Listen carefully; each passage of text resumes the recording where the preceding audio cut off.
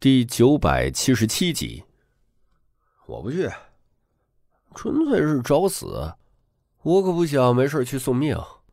小子，你可别别后悔啊！北地说动了一些太古王族，他们也许可出入紫山，到时候说不定连无始大帝的尸体都能给扛出来。你还有什么消息吗？哼，消息太多了。这一个月来，东荒很不平静。发生了很多的事情，段胖子拍了拍他的肩头，跟道爷我一起去吧。以你的元术，再加上我的神术，合则两利，天下无敌。不去，我不想送死。你要知道，那几件王者神兵可是无价的，没人能买得起。你一下子都给我洗劫走了，你说这笔账怎么算？给我去帮忙抵账。去死吧你！你抢我通灵武器时怎么不说？那几件兵器呢？都让我祭兵魂用了，便于吞噬吞天魔怪，你就别指望了。那咱们就两清了。你就这么淡然？连东皇的那只狗都疯狂了，你都不心动？去你大爷的！怎么比喻呢？说一说发生了什么？东皇那只狗太邪门了，坑死了几个大能，差点将王腾都给废了。就是跟你一路货色那只讨人嫌的狗，你不想去看看它吗？各大势力退走了，见到了叶凡渡劫时的神勇，许多人都心情沉重。圣体已经成长到这一步，还能扼杀掉吗？此时，段德与叶凡还在喋喋不休，两人互相不让步，坐在一座秀丽的山峰上吹胡子瞪眼。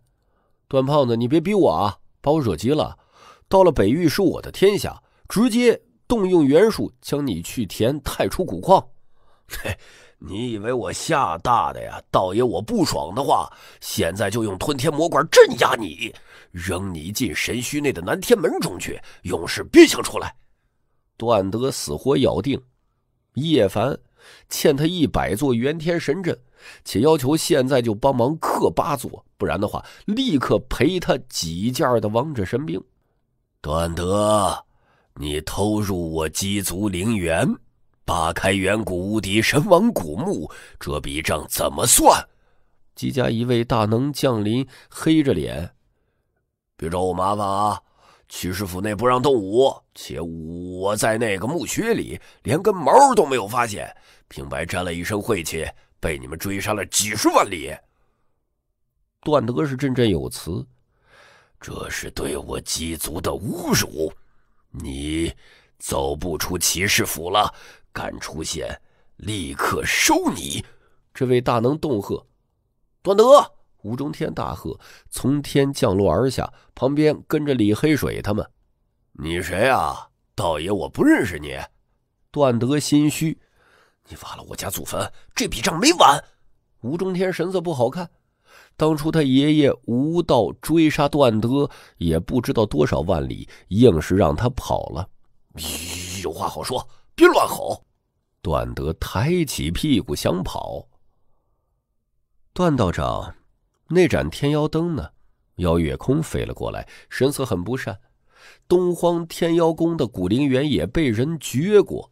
那那那盏神灯是我捡的。再说了，都让三个王八羔子给洗劫走了，你找他们去算账啊！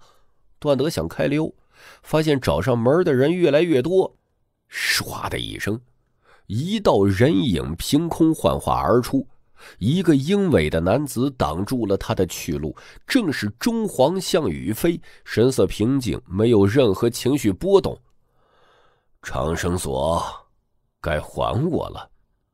远处众人晕菜，段德真是什么人都敢盗啊！啊，刚一露面，一群苦主找上门了，连中皇都包括在内。你你那是衣冠冢，真身早就在九千年前被人扛走了。我确实捡到一把锁，但是也被洗劫掉了。别朝我要啊！段道长，你在妖帝阴坟九进九出，都盗走了什么？见到至宝荒塔了吗？一个完美无瑕的女子出现，颜如玉找上门来了。少给我扣帽子了！别说荒塔，连阴坟的地下主门我都没进去，跟我一个通子关系都没有啊！段德真快急了。他见到叶凡因一时气愤而跳了出来，没有想到这么短的时间内跳出来这样一大群债主，心中发虚。段道长，你在东荒盗人陵墓也就算了，还来我中州肆虐，九神兵沉葬地下一万五千年了，都被你掘出来了。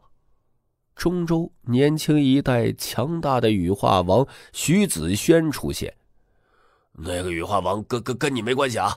你们没有什么血缘，别什么烂账都算在我头上。那十八颗珍珠应该跟我们有关系吧？另一边，中州一名年轻的王者走来，神色很不善。段德头皮发麻，觉得跳出来的可真不是时候啊！被一群苦主给堵住了，无话可说。叶凡嘿嘿直笑，哼，段哥，你这缺德事干的也太多了。有一件吞天魔罐还不知足，四处盗古灵，真是太不地道了啊！想掌控地兵，需要兵魂，多少件兵器对我来说都不够用。段德，你太坏了，侵我七族陵园，还想找虚空大帝的古墓。姬子月控诉，旁边神王体姬皓月神色不善，眼神很凌厉，死死的盯着他。妈妈的！我说怎么会有这么多人找我麻烦？原来是因为那两个王八蛋。段德一眼盯住远处两人，一个是庞博，一个是野蛮人东方野，正在卖力的拉人宣传盗墓贼的事迹。你们两个，一个洗劫过我，另一个现在用我的九神兵呢，还不给我死过来！段胖子借此大叫，而后冲了过去，一溜烟就没影了，逃之夭夭。庞博与野蛮人相视一笑，这确实是他们想出来的办法，为叶凡解决麻烦。不然，段胖子还真不好打发。有种你就在骑士府待一辈子，敢离开的话，我剥了你的皮。姬家一位大能说道，转身离去。叶凡在骑士府又待了半个月，进入他们的古籍库仔细翻找，但是根本没有找到荒古前九位大成圣体的点滴。我被忽悠了，他想找到副府主林道臣问个仔细，结果却被告知闭关了，可能又躲在哪个犄角旮旯里了，说不准又会数十年都一动不动。在那上古年间。真的来过几位圣体，不过都早已沿着星空古路走了。通向哪里啊？叶凡追问，结果自不会有答案，这属于骑士府最高机密。数日后，叶凡离去，与众人挥手：“放心，很快就能相见。我去解决一些问题，马上回来。”姬子月叮咛。小叶子，你要保重啊！叶子，等我吃完那块棺材板，进入仙台秘境，立刻去找你。庞博很坚定，一群人无言。而今东皇将有大战，齐师傅可能会派我们去那里历练，也说不定。或许我们可以并肩作战。东方也说道。李黑水等人难以释怀，见到那只死狗，赶紧让他把土匪找回来，都丢了好几年了。他们同时告诉叶凡，多半会参与到东荒的大战中去。即便真的要历练，你们也不要妄动。这次可能会涉及到太古王族，圣主去了都白搭。再说，我离开并不是去东荒。叶凡告诫。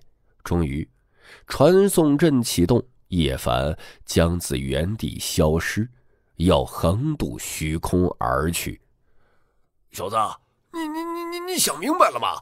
是否要去东荒？我在古荒山等你啊！一起大战东荒，会一会太古的王，取出无始钟来。段德在远处喊道。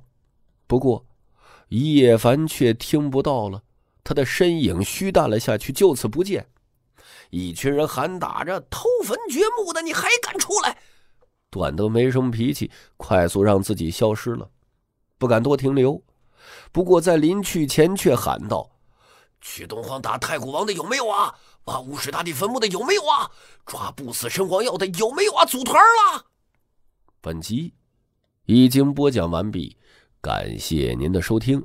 更多精彩内容，请在喜马拉雅搜索“头陀渊讲故事”。谢谢。